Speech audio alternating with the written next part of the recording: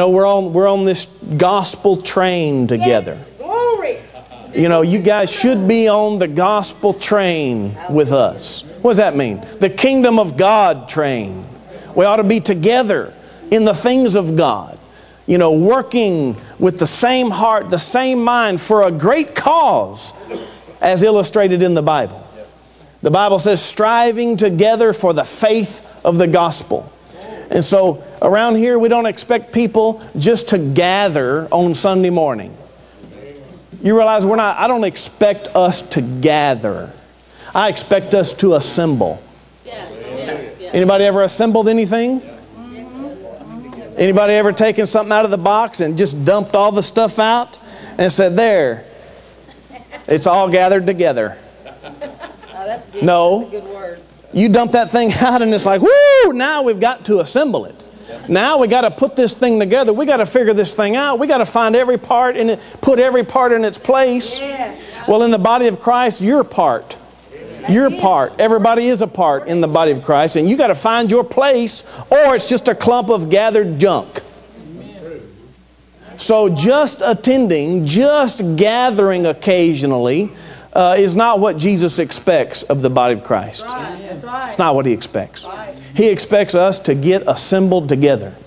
Find your place. That's what we're doing tonight. This church life is, is for you to commit to the body of Christ. Understand your position. Understand the body of Christ. Hallelujah. So, are you assembled? That's the question. That's not the message. I'm just, this is just preamble. Are you assembled? If you're not assembled, your part ain't going to function right. You can't just take the bolt and throw it out there and think it's going to do its job. You can't just take the one mechanism, throw it out there if it's not connected to the other mechanisms. So don't just think that you can be a Christian out there without the rest of the body of Christ. That's why church is important. Amen. Amen. So we're not just gathering to hear, hear the inspirational speaker. We're not just gathered together because I just love the way the pastor does that. Every, every Sunday it encourages me. No. We're here to find our place, take our role, step into our armor, and get some things accomplished while we're on the earth. And you know, you know, for the natural person, it's like, phew.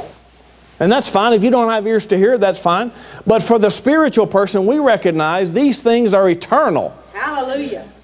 I said eternal. Yes. When we get to heaven, it will all be clear.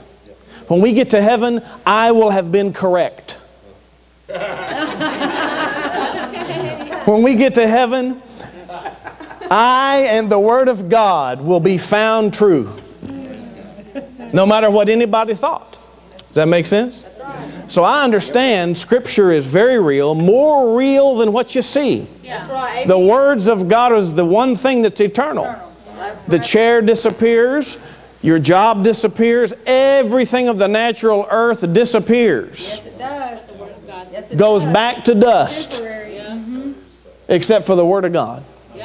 So if I just hook up to the Word of God, make it my, my first speaker of life, make it my first priority, give it preeminence over everything in my life, I'll never fail. Yeah. That's right. It, may, it, it doesn't matter what it looks like because in heaven it'll all be clear. The things we do, this, what we do today is eternal. What we do today will be registered in eternity. Thank you, thank you. The way that we love one another is registered in heaven. The way that we have right motives toward one another, always with everyone, is registered in heaven. Glory. Now, the sinner doesn't understand that. The sinner tries to figure out ways to scheme and get its way and manipulate just enough to where no one knows, but I benefit. The Christian never does that. Amen. Never does that. Amen. Even when the wallet is empty, even when times are tough, even when it's about to be embarrassed, it never, the true Christian never compromises its conscience. Thank you, Jesus. That's good. Hallelujah. That's good. When you start living like that, you'll be a happy person. When you start living without any element of manipulation or dishonesty, lack of integrity, when you eliminate those things, you will feel some true joy on the inside. Thank you, Lord. When you can do your taxes uprightly Yes. without the fear of not paying, That's why people don't pay, they're afraid to pay. Preach it. Keep going, keep going. That's why people don't prepare ahead of time, they're afraid to. That's true. Okay. praise the Lord. That's not part of the message, aren't you glad? Let me read you our annual Fellowship of the Unashamed. now, we do it more than annually, but I like to do it. So let's just read here. This is just a quote from a, a, a preacher. I don't even know who he is. But um, this is what he said. This, is what, this ought to be all of our call. It ought to be all of our horn blowing. This is what we ought to think like. I, I, I, read this my first year with the Lord, and I thought, man, this is exactly what I got saved for. This is exactly what I got baptized in that water for. Hallelujah. This is exactly why I chose to follow Jesus. This is what I want. Without this that I'm about to read, it's all just minimized, it's all just watered down. I did not want to get saved and walk with God so I could have a watered down, weak religion. That never interested me in the first place. But when I found out things could be different, I jumped in. And I'm not putting it all on me. I mean, He drew me, I understand that. But at the same time, I recognize that I, I jumped in. Some people, they want to go into the water like this just touching the toe. No, you can't jump into God's kingdom like that. That's not the best way. I mean, you could, I guess, but that's not the best way. Anybody ever been to New Braunfels down there? when I was a kid, we, we, our, some of our neighbors had gone.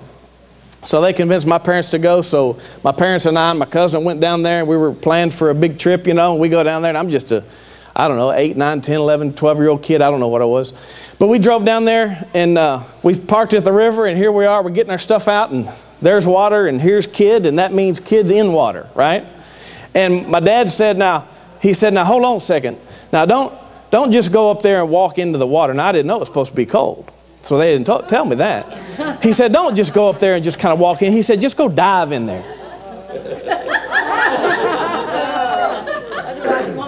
And that's the only way to get in New Braunfels water is jump in. Because if you don't, you'll be too chicken.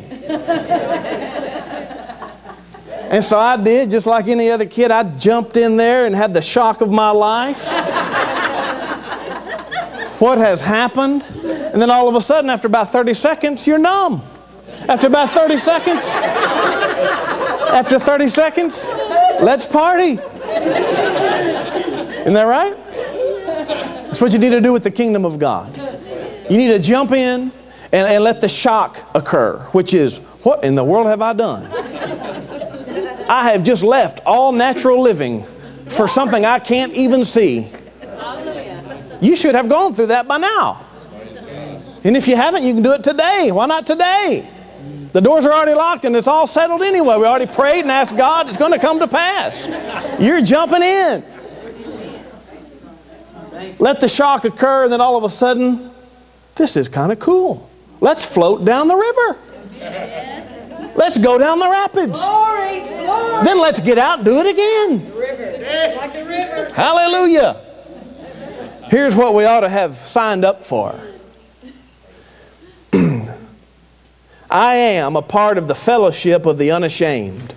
I have the Holy Spirit power. The die has been cast. I've stepped over the line. The decision has been made. I'm a disciple of Jesus Christ. I won't look back, let up, slow down, back away, or be still. My past is redeemed, my present makes sense, and my future is secure. I am finished and done with low living, sight walking, small planning, smooth knees, colorless dreams, tame visions, mundane talking, chintzy giving, and dwarfed goals. Hallelujah. Woo! Pause. I no longer need preeminence, prosperity, position, promotions, plaudits, or popularity. I don't have to be right, first, tops, recognized, praised, regarded, or rewarded. Amen. I now live by presence, learn by faith, love by patience, lift by prayer, and labor by power. My pace is set, my gait is fast, my goal is heaven, my road is narrow, my way is rough, my companions few. My guide is reliable, my mission is clear. I cannot be bought, compromised, deterred, lured away, turned back, deluded, or delayed. I will not flinch in the face of sacrifice, hesitate in the presence of adversity, negotiate at the table of the enemy, ponder at the pool of popularity, or meander in the maze of mediocrity. I won't give up, back up, let up, or shut up until I've preached up, prayed up, paid up, stored up, and stayed up for the cause of Christ. I'm a disciple of Jesus Christ. I must go until He returns, give until I drop, preach until all I know, and work until He comes. Thank you, Jesus. Thank you, Lord. And when He comes to get His own, He will have no problem recognizing me. My colors will be clear, for I am not ashamed of the gospel, because it is the power of God for salvation to everyone who believes. Hallelujah. Let's go out and change the world, why don't we? Let's go out there and make a difference in somebody's life. Even just a simple tender thing, that's all you got to do, and you have eternal reward. Eternal reality happens every time we do it. Eternal diamonds, I don't know what they look like, but they're probably better than the ones on the earth. That's true. Amen. Hallelujah. One preacher said in our he said this in our modern world our real danger comes not from irreligion or non-religion but from mild religion. Oh, that's good. That's good. That's true. I've always said that. Joni and I've recognized that over and time and time again. I'd rather take someone that doesn't know anything, that just stepped off the dark sinner's road to destruction. I'd rather take them to train them up than to take some old mild religion person and convince them there's something better. Amen. That's true. That's true. You know, building a house from scratch is always easier than tearing down the old and building up the new. It's important where new Christians grow in the Lord. It's important what kind of foundation Christians get in the beginning. Your foundation matters deeply. If it's crooked, everything's crooked. If your foundation cracks, if your foundation has cracks and, and uh, uh, you know, mess ups or dilutions in it, then your windows aren't going to fit. Your doors aren't going to shut. All sorts of stuff goes crazy. And that's where Christians find themselves. They got wrong foundations. You need to recognize if you got a shaky foundation in your early upbringing of Christianity, you need to recognize it and say, you know what? Things just don't fit around here. I just don't get it. Things aren't working like, like they ought to. Be willing to wipe that out. Let's just start over. Let's get the jackhammer. Let's dig up the whole thing up, tear the whole thing down, build the whole thing back up straight. I mean, you might want to keep just one pole of Jesus Christ, and let's start from there. let's keep the center pole. We used to put up tents in the tent crusades. And the most important thing of the whole tent crusade was that center pole. If you get that center pole off, nothing fits, nothing works, the tent might fall. So keep your center pole up for Jesus Christ. That's, and then we'll start from there and we'll build all the right doctrines of Jesus Christ. Amen. Without watering things down, and throwing things out, and, and neglecting things because they're a little difficult on the flesh. That's true. That's true. You know what I mean. okay, let's go read the Bible. 1 Peter chapter 1. 1 Peter chapter 1, verse 6. No, let's read verse 3. 3. 1 Peter 1 3. Blessed be the God and Father of our Lord Jesus Christ, who according to his abundant mercy has begotten us again to a lively hope through the resurrection of Jesus Christ from the dead, to an inheritance incorruptible and undefiled and that does not fade away, reserved in heaven for you. Glory. Uh, just let the Bible make you happy. You know, if you're ever sad, just read the Bible.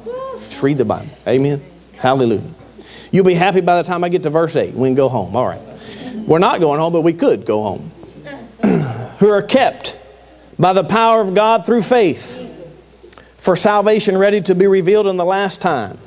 In this you greatly rejoice, greatly rejoice, greatly rejoice, greatly rejoice. Hallelujah. Yeah. Thank you, Jesus. Hopefully, I want to pull us today back to the fact that spiritual truths are rejoiceable. We can rejoice about spiritual things. It- you know, spiritual religious things aren't just for the preacher that went to Bible school. Spiritual things are supposed to be for every single believer in Jesus to rejoice in so that you can keep your head above the water of this life and succeed at it. Spiritual people always have great success in the earth. Did you hear me? Spiritual people always have great success in the earth. Always. Amen. Always. Amen. Always. Amen. Verse 6 In this you greatly rejoice, though now for a little while, if need be, you've been grieved by various trials. I'm not saying you won't have trials, you'll have some trials, no problem. You might even be grieved by some trials. Sure. Keep your head above the water, though. That the genuineness of your faith, King James says, the trying of your faith being much more precious than gold that perishes, though it's tested by fire. Now, that's not the holy fire of the Spirit, that's the outside trials fire. May be found to praise, honor, and glory at the revelation of Jesus Christ. Really, the, the, the way we understand the fire of God and the chastisement of God is the Holy Spirit within you Yes. is burning on the inside of your heart. And that's the thing that's really going to turn you from, from dirty to clean. Hallelujah. Verse 8 Whom having not seen you love. That's really what I wanted to get to in this whole passage. Whom having not seen you love, though now you don't see him yet believing, you rejoice with joy inexpressible and full of glory. King James says, joy unspeakable. Means you can't even speak about it. Receiving the end of your faith, the salvation of your souls. But I wanted you to see verse 8 Whom having not seen, you still rejoice. Thank you, Jesus. And I'll just make this statement until we, Christian, can rejoice in the one we can't see more than what we do see, we hadn't reached it yet. We hadn't got to that holy life yet of joy and glory of the kingdom of God until we can be so ecstatic of the one that's beyond the veil. Thank you, Jesus. Until we can sit in our house in the presence of Jesus and be so in awe, so happy, so content. Oh, do I have to go to work? Do I have to do that? Oh, this is so one. Until you can do that, you hadn't reached it yet. Until you can rejoice in the invisible more than the visible, you hadn't experienced true Christianity. Jesus is a real person. Amen.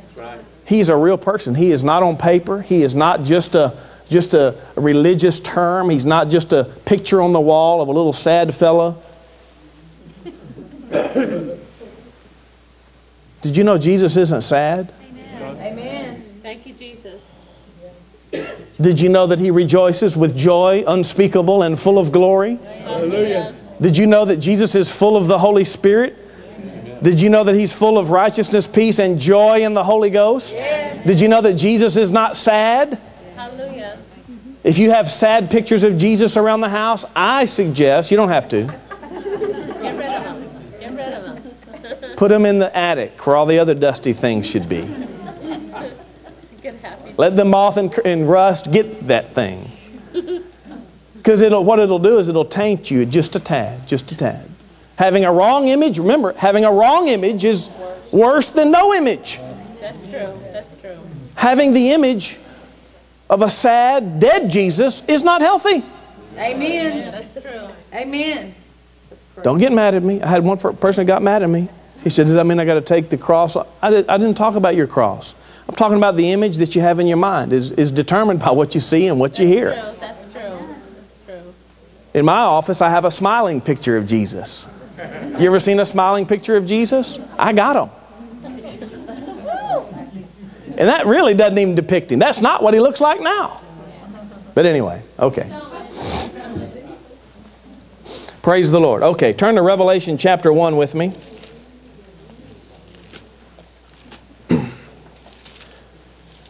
You know, we need to tie ourselves up to real Christianity. We need to link up to the heart of God. That's right. I mean, if we're going to be Christian, we ought to really be Christians. If we're going to be believers, we ought to really look like it. We ought to think like it, act like it, talk like it, rejoice like it, hang out together like it, love like it, Yes. beat the devil up like it. I mean, we ought to do the things that Jesus would do if he was here. I mean, we ought to be sincere. We ought to be happy. We ought to be fun. We ought to be glorious. We ought to be exciting. We ought to be full of love, joy, tenderness, patience, long suffering, goodness, meekness, faith, temperance. Amen. I mean, we're- real Christianity, we, we, I I like real Christianity. That's why I'm saved. Yes. Hallelujah. I'm saved because the Spirit of God gets to live in me and turn me into a God person. Amen. Gets to live in me and teach me how to speak like God would speak. Amen. Revelation chapter 1, I wanted to read you this here. Verse 18 Jesus said, I am he who lives and was dead. And behold, I'm alive forevermore. Amen. And I have the keys of hell and death. I want you to know Jesus is alive, and I want you to know Jesus is coming again. Amen. Go to Revelation 19 with me. You know, these things remind us, keep us tied closely to what we believe. You know, your belief ought to be sincere on the inside of you. Amen? We ought to be solid in believing. One preacher said that unless people are willing to die for their faith, they cannot be fully trusted. Unless people are willing to die for their faith, they can't be fully trusted. I don't know about you, and I, you know I get some flack from some of these things, but when I got saved and came in that first year, I recognized, you know what, I'd do anything. I'd do anything for the Lord. I don't care what it takes. I die for Him. I live for Him. I don't care. I'll do whatever it takes. And I thought about it over and over again. What if I did get captured overseas and, and arrested and thrown in prison? What if I did get shot, you know, by the religious government of some nation? Could I handle it? I thought, sure, I can handle it. No problem. I'll get me an extra crown in heaven, by the way, if I did that. Now, most of us, some of you are already shaking in the chair. You're thinking, oh my gosh, where's he going with this? Most of you are never going to die for your faith, but you ought to at least think about it. Yeah, that's Could you? That's true. That's And then somebody says, Oh, yes, I could die for, for Jesus. Well, could you live for him? So we can go all around the, the, the globe thinking these things. We can go all around the, the arena that we're speaking on. And it's all designed so that we can take analysis of ourselves. Am I, how, am I, how am I doing here? Am I sold out for Jesus? Am I sincere about the Lord? You know, He's coming back. Yeah. I want you to know Jesus Christ is coming back to this earth. Thank you, Lord. He's coming back. The first thing that's going to happen is a horn's going to toot. It's going to do more than toot. It's going to blow. It's going to shake the foundations of this earth. And the dead in Christ are going to come out of those graves. Glory. Glory. It's going to happen. Jesus Christ has not forgotten his promise. He is coming back. Yeah. Glory. Now, the disappointed, sad Christians are thinking, yeah, when's he coming? The excited Christians are thinking, he might come tomorrow. The dead in Christ are going to come out of those graves first, then we which are alive and remain are going to be caught up together with them in the air. We're going to meet the Lord in the air. So when the voice of the archangel and the trumpet of God sound, I'm not worried about anything. You know, some people are like, well, let's make sure we're all together, family. Let's come. Not me. You're on your own, man. When that trumpet blows, everybody's on their own. I'm up. Hope you're with me. I'm not delaying around to see if I can go through the seven years of tribulation on the earth. The trumpet sounds, I'm out of here. Amen. Now, personally, I think it's going to happen Sunday morning or Wednesday night. I'm just not so sure. Not this Sunday morning or Wednesday night. I think it'd be fun if we we're all together, but I'm not going to count on it. Not going to look for it. Just I know when I hear the horn. Hopefully, it won't be faintly in the distance. It'll be, it'll shake everything. And then all the all the believers disappear for seven years. This is real stuff. This is reality. Heaven, glory. I mean, it doesn't seem reality yet, but it's going to happen. Then it's going to seem like reality. So you might as well think like it's reality now. That's how you get all your prayers answered anyway. You're supposed to act like it's so even before it's so, and that's how faith works. You start rejoicing now for the thing that's coming as if it's come, and therefore you're in faith long enough for it to actually happen. Yes, that's True. But for the coming of the Lord, it's going to happen. Might as well rejoice about it. Jesus. Hallelujah. then we're in heaven for seven years, and we're going to do several things. I don't know what, but we're going to do several things. I know we're going to eat supper.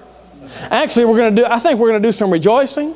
We're probably going to do some training. We're training. We're going to be doing some serious training for earth life because we're coming back to rule for a thousand years. So in heaven for seven years, we're going to be uh, learning from Paul, and learning from Peter, and learning from Jesus. And the Holy Spirit's going to train us in the ways that really we should be living.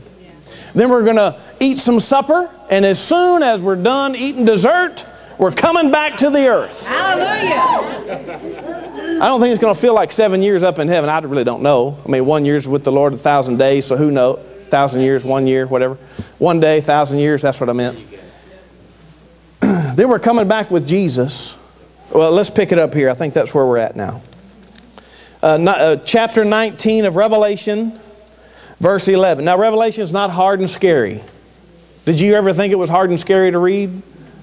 I did. No, Revelation is a blessing to read. It's excellent. It's all about Jesus Christ.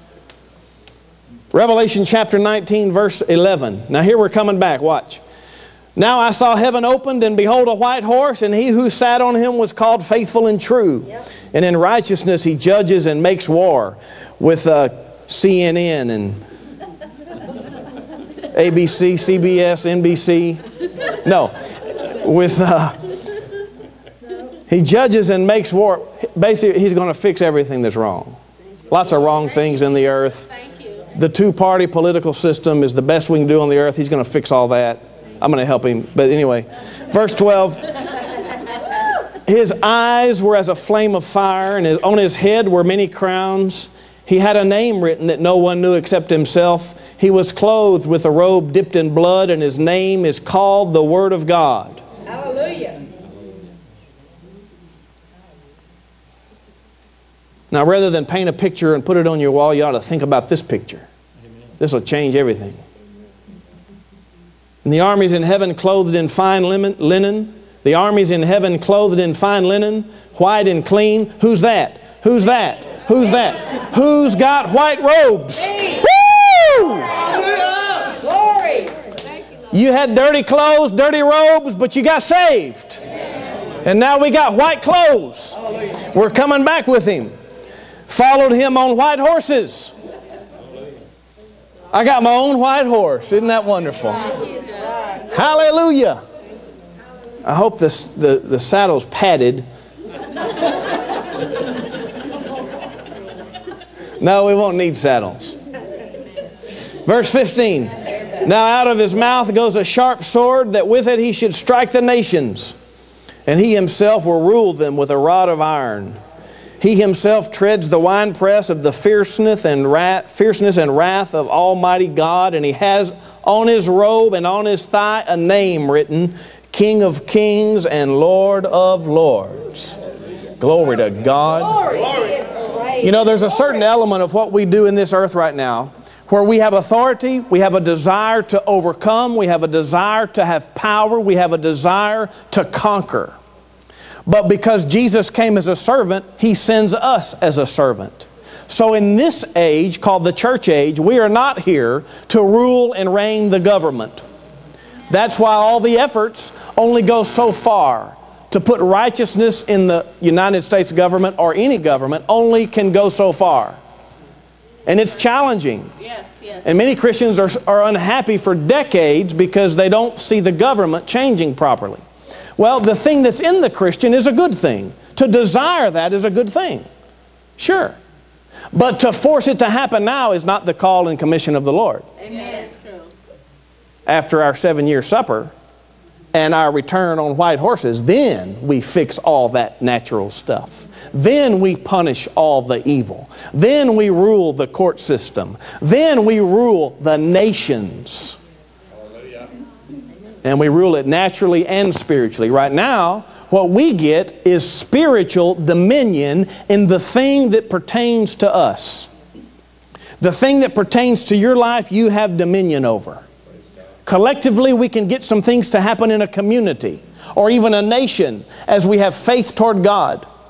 That's why I always say Americans America's going to be fine financially. We may have some ups and downs, but the Christians in America are going to keep us afloat.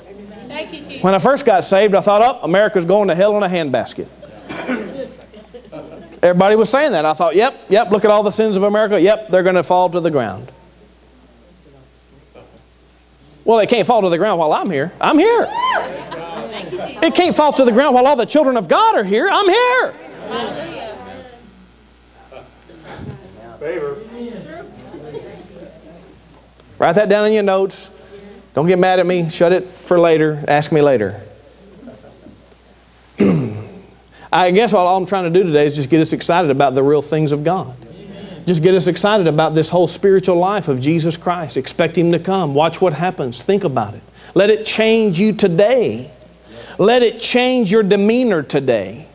Let it ascend above your financial concerns, your family concerns, your all of your depression potential.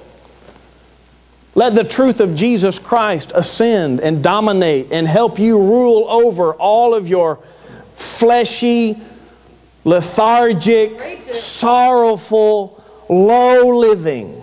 Amen. Everybody has to deal with that. How are you going to deal with it? How are you going to deal with it? I read the Bible. That'll help you. Praise the Lord. Some churches aren't reading the Bible. They don't expect people to read the Bible, don't expect people to bring their Bible. I still expect people to bring their Bible. That's true. Some people want us to put the, the scripture up there. If I do that, then you'll quit bringing your Bibles. I'm not going to do it. We might eventually do that for a little help, but I want you to get familiar with your Bible because you're not going to have the, the PowerPoint overhead projector at home. Amen. And you're going to need to find, open your Bible and find the place where it was written. That's right. Amen. Keep going. Yeah. And if you can't read or don't like to read, then at least you have all the CDs in order so you know what to listen to when you need it. Amen. Keep going. Amen. Revelation chapter 20, verse 1. So this is when we come back. There's a big battle. We're all we're coming back with Jesus. It's going to be a huge battle. It's going to last about a half a day. Yeah. Yeah. It's going to be cool. It's to be uh, won by this huge sword that the angels carry. Then I saw an angel coming down from heaven having the key to the bottomless pit and a great chain in his hand. And he laid hold of the dragon, that serpent of old, who is the devil and Satan, and bound him for a thousand years. And he cast him into the bottomless pit and shut him up. It'd be nice to shut the devil up. You know, you can shut the devil up yourself. Yes. Amen. You can shut the devil up yourself. Matter of fact, you ought to shut the devil up. He's the one that talks to you in the quiet times, unless you're in prayer to God. That's why you need to be in prayer to God in the quiet times. Because the devil will talk to you and bother you. Like I told you before, I was walking down the grocery store one time, just minding my own business, looking for peanut butter probably. And uh, the thought came to my mind, some worried thought about the church. I don't remember what it was, but I remember it was a worried money thought. And I just said, Shut up, devil, and just kept moving. I thought, What if somebody heard me? Well, thank you, Jesus. I don't know if anybody heard me, but I know the devil heard me because he quit talking. And if the devil's bothering you about something in life, some life concern or some affliction or some anything, because some fear, some doubt, some worry, you're going to have to verbally shut him up. Yes. That's right. Amen. Eventually, he's going to get cast in the bottomless pit. Thank you, Lord. For now, we're going to have to exercise some dominion. And during that thousand year reign, there is going to be no devil bothering anybody. There's going to be no sin. There's going to be no temptation. There's going to be no death, no sickness that we can't thwart. Thank you, Lord. He is out. Yeah. Yeah. Thank you, Lord. Hallelujah. Great day. Perfect day. Thank you, Lord. Look at verse 10. Then he's going to be let loose just for a moment to, to tempt and try all those who were born during the thousand year reign, who were never tempted yet by the devil. Verse 10 The devil who deceived them was cast into the lake of fire and brimstone, where the beast and the false prophet are, and they will be tormented day and night forever and ever. Amen. So I just wanted you to see that the end is very clear, it's very awesome, and there's going to be no more devil. Until then, uh, we're going to have to be aware of the devil. Until that moment, there's things that happen. Until that moment, we're entrusted with something to do on this earth. Yep. You know, ever since the very beginning, ever since the very beginning, the devil has tried to ruin humanity. That's true. That's true. And he succeeded in the beginning. He ruined paradise. He ruined it by tempting the human. Because of one man's sin, tempted by the devil, death reigned by sin. But because of one man's obedience, many were made righteous. The devil tries to ruin humanity. Jesus came to destroy the works of the devil. The Son of God was manifested that he might destroy the works of the devil. The, the most prominent work he destroyed was the sin and the death by sin. We don't have to take part in any more death or spiritual death because Jesus thwarted the devil. Then we watched the ministry of Jesus, and he started kicking over rocks of Satan. You know, in the Old Testament, there was not much mention of the devil. Just a little bit. Even in the book of Genesis, when the temptation came to Eve, it says the serpent spoke to her, didn't even call him the devil. We know the devil inhabited the serpent. Does that make sense? So there was very little light or revelation that the devil was the destroyer, the ruiner of humanity. Very few people understood that. Well, when Jesus came, the light came. Yes. And he started kicking over the rocks where Satan was hiding. And then people started recognizing, oh, that's why my family member is so wild and stupid. That's why my child keeps getting thrown into the fire and into the water. That's why the man is naked, running around screaming. That's why Yeah, that's true. things are so twisted and wrong and dark and evil in the earth. That's why it's the devil, the deceiver, the tempter, the destroyer. Jesus said, I came that you might have life and life more abundantly. The thief came for nothing except to steal, kill, and destroy. Right. The killing, the destroying, the stealing is all from the devil. Amen. That's why God anointed Jesus. Jesus is the solver of all devil problems. Yeah. Holy Ghost and power, glory. How God anointed Jesus with the Holy Ghost or Holy Spirit and power, who went about doing good and healing all that were oppressed by the devil, for God was with him. Who were oppressed? I mean, how were they sick? How were they afflicted? They were oppressed by the devil. Yeah. Jesus healed all who were oppressed by the devil. I'm telling you what, He is the one that was dead and liveth. Hallelujah. And He's alive forevermore. Thank Yeah. you, Jesus. Thank you. We look at all things in this earth, or the natural man looks at all things in this ear- earth as natural or psychological. Somebody has an issue in their mind, uh, a psychological problem. Mental medication is, well, not necessarily. Not necessarily. We who are spiritual ought to recognize when it's a devil. We need to know when the devil's bothering us. You know, Jesus solves all problems of the devil. All devil issues are solved by the name of Jesus and the authority of the Holy Ghost. The authority of the name and blood of Jesus Christ. All devil issues are supposed to be solved. If the devil's bothering you, you do what, who was it? Paul did. Many days, Paul was preaching the gospel over in, in Ephesus, I believe. And uh, the certain fortune teller was following him day and night, following his, his pack of Christians, following his believers. This demon possessed fortune teller was in the mix saying, These are the servants of the Most High God. Hear ye him. Hear ye them. Listen to them. The devil trying to help the gospel. Devils do crazy things. You never know what they're going to do. Whenever you go, I don't know what in the world's wrong with this person. It could very well mean the devil has afflicted, tormented, oppressed, something has afflicted this person. And so the Bible says she did this many days, bothering Paul, just bothering him.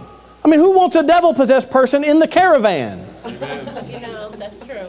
That's true. The Bible says that Paul, being grieved, turned and said, not to the woman, to the spirit, Come out of her, you unclean spirit. Yes. Cast the spirit of divination out of her. Amen. Thank you, Jesus. If the devil's bothering you, cast him out. That's right. Come out. If he's bothering you, cast, if he's trying to tempt you, cast him out of there. Tell him to shut up and get out of here. Use your authority. Jesus said, Behold, I give you authority over all the power of the enemy. He has a little power, but you have authority over that power. You, Behold, I give you authority over all the power, all, all the power, all the power of the enemy, all the power of the enemy. When you're sitting on the couch, it feels like the devil has more power than you. But when you start saying some things out of your mouth, you recognize you have more power. Amen. If you if you try to beat the devil with a silent lip, you'll never win. He said, I give you authority over all the power of the enemy, and nothing, nothing, nothing, nothing, nothing, nothing shall by any means hurt you. Nothing shall by any means hurt me. Nothing, nothing, nothing of the devil gets to hurt Chas. Nothing. Nothing. Some weird thing in my body starts trying, no, not here. Not at 6202 Paloma Park Court. Try 6206.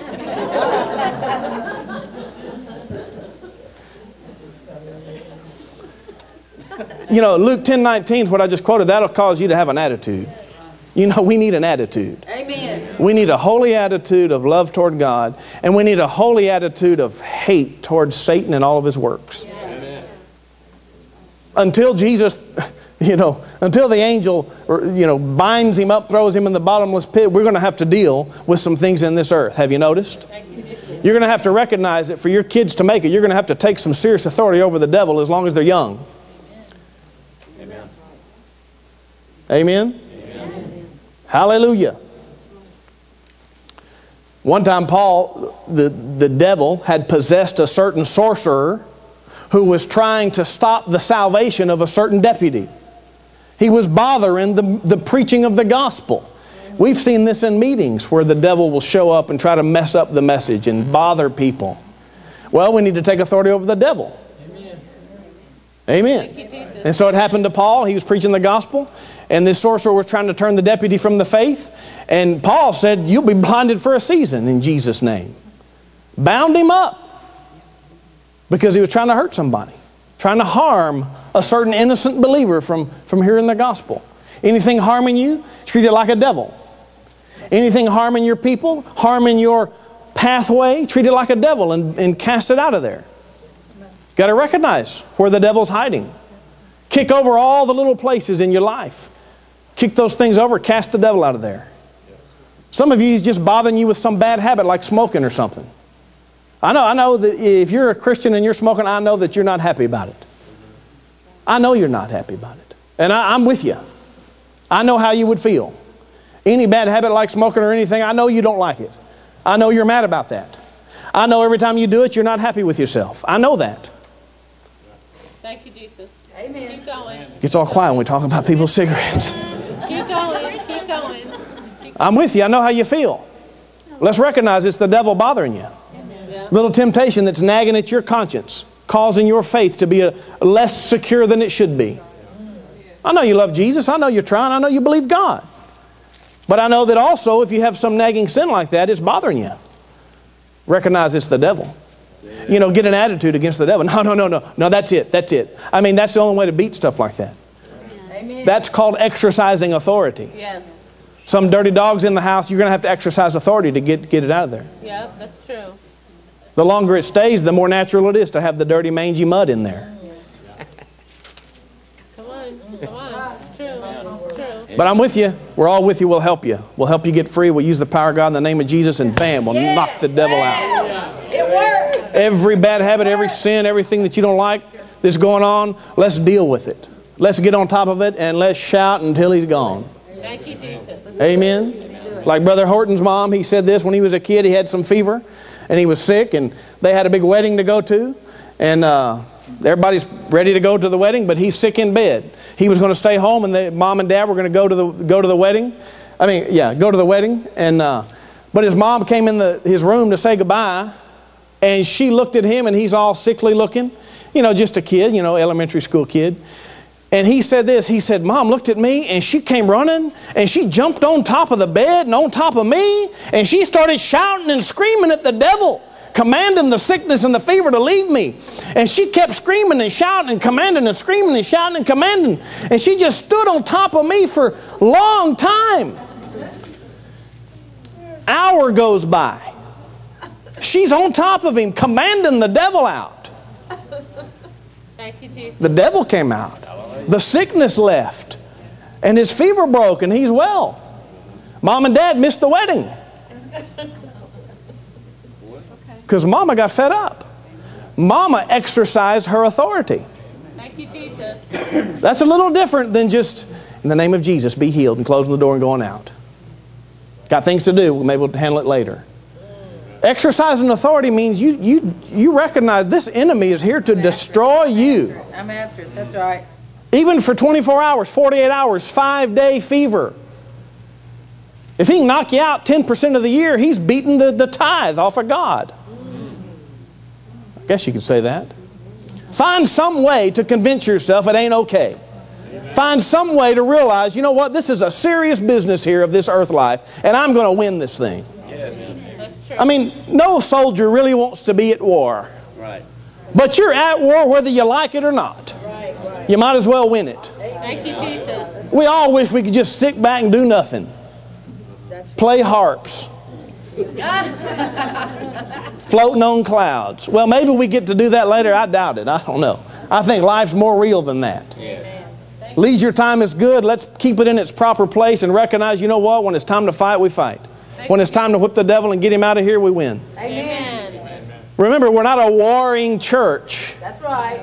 We don't have to battle and battle and battle till my head falls off. No, we're a triumphant church. Amen. We're a triumphant church occupying the land till he comes. Occupy till I We're triumphant. He's already whipped the devil. Amen. Yep. He's already whipped the devil. Turn to Hebrews, we'll read that scripture. Turn to Hebrews with me. He's already whipped the devil. All we got to do is kind of enforce what he's already done. It's kind of like the law of the land. We've already got the, the we already took America. we fought the revolution, the war is over, now we're occupying. That's right. And in, in occupying, you have to set up some laws, set up some rules. We got some police. We got some things. We're controlling crime as best we can.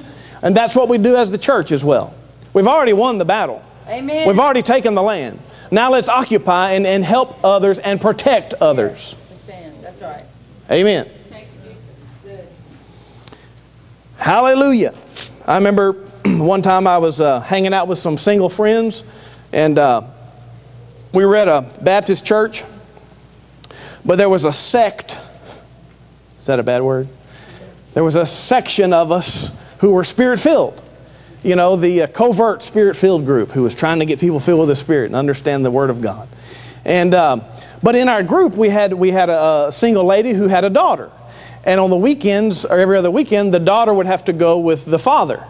And every time the daughter would come back from being with the father, she was kind of uh, different. And she was, Daddy, where's my daddy? Where's my daddy? Where's my daddy? Just, you know, she's only two or three. And she was just frantically looking for daddy. We're thinking, what's wrong? That's something's wrong.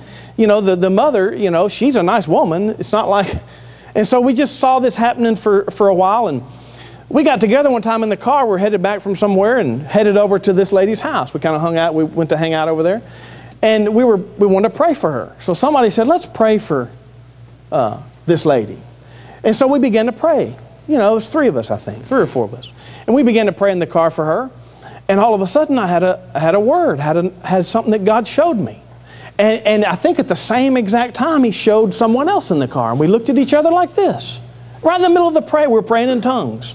Right in the middle of praying in tongues, we, we looked over at each other and said, It's her daughter. That's all we knew. All of a sudden, it wasn't just the mother, it was something about the daughter. Uh, and so we said, okay, well, when we get over there, we'll ask her if she wants us to pray for her daughter. Well, we get over to the house, and we're sitting around, and we, we expressed to the mother, hey, you know, we were praying for you, and it seems like the Lord wants to, He, he wanted us to pray for your daughter. Would you like us to pray for her?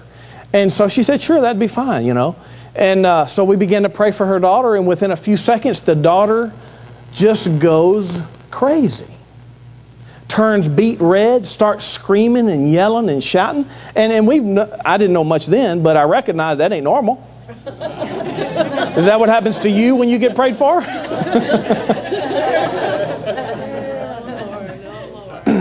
and so we recognize it's the devil, and we cast the devil out of her. And when we cast the devil out, she really went crazy. I mean, just almost a word scare you, she went so crazy. Turned beet red, stayed beet red for several minutes. In the meantime, the mother was digging in the bag. She had just picked her daughter up from the weekend. She was digging in the bag, and in the bottom of the daughter's bag, she found, you know, where all the diapers or whatever's are. In the bottom of the bag, she found a book called the, the White Spell Book for little white witches. And she pulls this thing out as the devil's coming out. Then, the, when the daughter sees the book, she goes just mad, just out of her mind mad. And, you know, I recognize, you know, it's nothing to be worried about. The devil's coming out of this girl and he's mad about it. I understand that. I, I've read enough of the Bible to recognize when the devil's cast out, he does his one final throwdown. You've seen that in the scripture. And so we just hung in there. We got to hang in there. And we just hung in there. And, Oh, you're coming out. Shut up and come out. Shut up and come out. That's all you got to really do to the devil. Shut up, come out. And uh, sure enough, three minutes. I think maybe the whole thing lasted three to five minutes. Sure enough, all of a sudden her color's back. She's normal skin tone. She's happy, smiling, hanging out with mom. And uh, one of the fellows, now he didn't know what he didn't know what was happening. He was scared. He wasn't a spirit-filled guy. He was in there though, and he, he said, "What do you want me to do with the book?" I said, "Well, in the Bible they burnt all that weird stuff, so go out there and burn it." So they burned it on the barbecue pit outside. And daughter was healed. Praise the Lord. Praise. Isn't that wonderful? Got to minister to mother. Mother was okay. That you know, I recognized something that's happened here. And uh, then I got kicked out of the Baptist church for it. Okay. we had a couple other things even more prominent than that that got word up to the head guy, and they called me in and kicked me out, and I said, "Okay, love you, bye." the point is, you know, there's weird stuff out there. There's weird stuff that affects your life or your friend's life or your neighbors or maybe someone comes to you. Now, one of the secrets of, of uh, taking authority over the devil is somebody has to come and want help. They have to open up for you. You can't just run around finding weird people and casting devils out of them. And not everything's a devil, and so you can't do that to people. Uh, so don't fall in the trap of that. You know, every, every time some oddity occurs, you know, you blame the devil and say, You got a devil. And the person says, Oh my gosh. Don't do that. You need to know from the Lord. You need to know from the Lord. You know, in the case with the little girl, we knew from the Lord. There was something that the Lord was showing us, so we recognize that. So you can't just can everything and, and do the same thing with everybody, but you can keep your eyes open. Be willing to kick open rocks, find areas that need to be, you know, shored up, cleaned out, and help people. Hebrews chapter 2, verse 14. Inasmuch then as the children have partaken of flesh and blood, talking about the body of the Lord and the blood of the Lord, he himself likewise shared in the same, that through death he might destroy him who had the power of death, that is the devil. That's where he stripped the dominion from Satan. Satan had free dominion in the earth and could hide himself. But he took that dominion away. Now we can shine light on the devil and whip him. You, You can't kill him, and you can't throw the devil in the abyss, and you can't end all suffering for all humanity in a general sense, but you can help few. You can help those that come. You can help individuals. You can solve your family crisis. Amen. You, Verse 15, and release those who through fear of death were all their lifetime subject to bondage. So do you or have you do you recognize that you've been released from the fear of death? Nobody here needs to fear death. Neither the death of your body, nor the death or temporary death, or, or partial death, or incipient death, which would be sickness. You don't have to fear cancer. If you fear any, if you recognize any fear of some dreadful disease that you've seen a commercial for, I know they're not advertising the disease, they're advertising the medicine. But it can sure put some fear in your mind, can't it? Oh my gosh, I wonder if that's me. Oh my gosh, I wonder if I've got some of that. If you recognize that, number one, shut the commercial off. Number two, get on top of it and say, no, no, no, no. Pastor said Hebrews 2.14 is real. You follow me? Go to, your, go to your word, go to your Bible, and get some faith in you so that you don't have to live with fear because you don't have to. Amen. That's part of occupying what Jesus has already accomplished for us. Amen. Hallelujah. Praise the Lord. All right. I'm closing the book. We could go a hundred different ways, but maybe somebody needs prayer today, needs help today. I don't know. Everybody, please stand to your feet.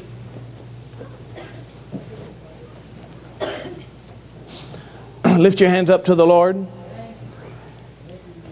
Hallelujah. Glory to God. Thank the Lord Jesus. Praise the Lord Jesus. Make some decisions in your heart that we're going to walk with the fellowship of the unashamed. I'm not ashamed of the gospel. I'm not ashamed ashamed of the power of God. I'm not ashamed of the name of Jesus. I'm not ashamed of laying hands on the sick people. I'm not ashamed of getting filled with the Spirit and speaking with tongues. I'm not ashamed of standing for what I believe. I'm not ashamed of witnessing for Jesus. I'm not ashamed to tell others about Him. I'm not ashamed at all to live a right life before God. I'm not ashamed. I'm not ashamed. I walk with Jesus. I'm a disciple of Jesus Christ. Come on, are you? Are you? Have you given it all? Have you jumped in? Have you jumped in? Have you jumped in? Have you jumped in? Praise the Lord. Praise the Lord. Have you jumped in? Or have you been towing it? Come on, make the decision now. Make the decision right now. Make the decision. Praise the Lord. Glory to God. Sunday. Prefedese que te basa, date gozo, date gese, para trente, para trente, para trente, para trente, para trente, para trente, para trente, para trente, para trente, para trente. Don't be afraid of the river. Don't be afraid of the river. Don't be afraid. Don't be afraid to go all in. Don't be afraid to go all in. For I'll catch you. I'll keep you. I'll catch you. I'll keep you. I'll cause you to succeed and win. I'll cause you to ride on the high places of the earth. And in me you'll find delight. In me you'll find delight when you let go of the others. When you let go of the others. When you let go of the others. Thank you, Jesus. Thank you, Lord. Thank you, Lord. Thank you, Lord. Thank you, Lord.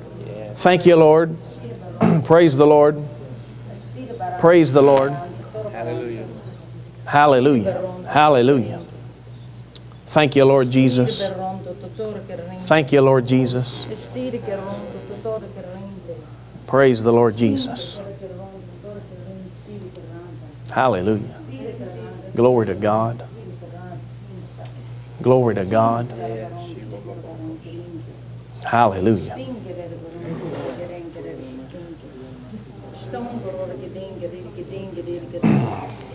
Praise the Lord Jesus.